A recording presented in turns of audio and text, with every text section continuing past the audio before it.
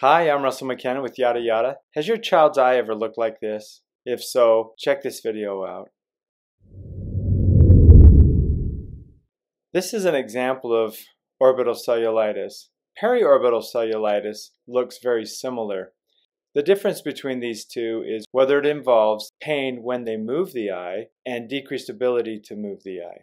What causes periorbital cellulitis or orbital cellulitis? The most common causes of these types of infections would be three typical bacteria staph, strep, and Haemophilus influenza. Bacteria gets into the soft tissue around the eye either through trauma or most likely through a sinus infection. The most common symptoms of periorbital cellulitis would be swelling of the eyelids, redness of the skin around the eye, including the eyelids, and pain when you touch it. They also may have fever. There's some general discomfort of the eye itself.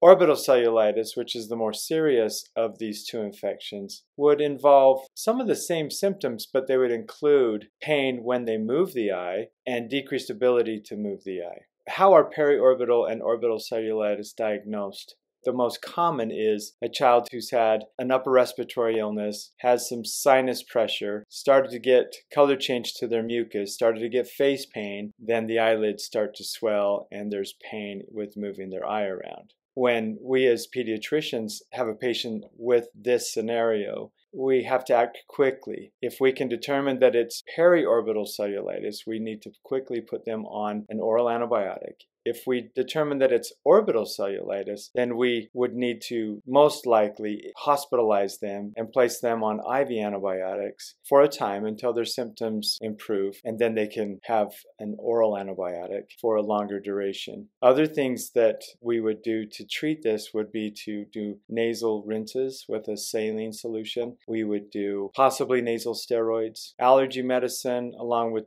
decongestants like pseudoephedrine to decrease the mucus production, trying to help the sinuses open up and drain. Sometimes surgical drainage of the sinuses and any abscesses that may form behind the eye or around the eye is needed. Some of the possible complications that we see with orbital cellulitis is meningitis, loss of vision, and brain abscesses. These are very serious consequences of this illness, and so it's important to catch this and get the child to the right place and be aggressive with management of this disease process. The picture shown here is a child who got a sinus infection got orbital cellulitis, had to be hospitalized, responded to IV therapy and aggressive nasal decongesting and washing the nasal passage out with normal saline. And then six months later, it went to the other eye. The surgeons had never seen that. So, if your child has an eye that looks like this and has had a cold and has eye pain, please take this serious and get them help.